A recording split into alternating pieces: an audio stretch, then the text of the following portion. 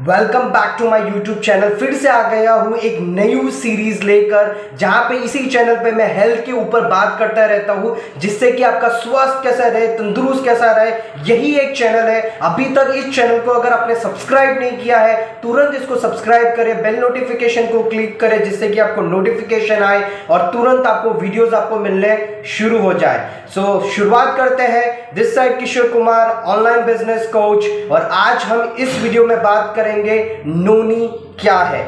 आ, क्या कर रहे हो? सब्सक्राइब का बटन दबा दो प्लीज़ और घंटा भी दबा दो. ओके बाय आखिर नोनी है क्या? फल है फ्रूट है क्या चीज़ है? तो जैसा मैंने बताया साइंटिफिक नेम इसका मोरिंडा सिट्रीफोलिया है। अब ये है क्या? तो ऐसे समझते हैं कि नोनी जो है बेसिकली एक फ्रूट है। बड़ा ही बदसूरत दिखने वाला फ्रूट है। बड़ा ही क्रूप सा है, बहुत अट्रैक्टिव नहीं है। उसका जो स्मेल है या जो फ्लेवर है, वो भी काफ़ी पंजेंट है मतलब बहुत ज़्यादा प्रिय नहीं है। बट ये सब कुछ होने के बाद भी, इसके अंदर जो गुण है, वो कुछ कुछ ज़्यादा ही हैं जितना कि आँखों पे या सुनने पे भरोसा नहीं हो उस तरीके के गुण है।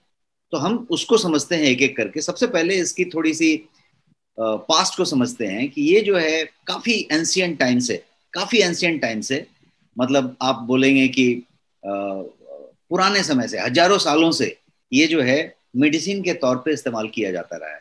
और किन एरियाज़ में पाया जाता है तो ज़्यादा करके साउथ ईस्ट एशिया में इंडिया में भी कुछ इसके ओरिजिन हैं।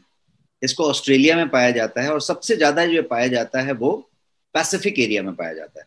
इसीलिए पैसिफिक नोनी क्वाइट फ़ेमस होता है और पैसिफिक को अच्छी क्वालिटी का भी माना जाता है।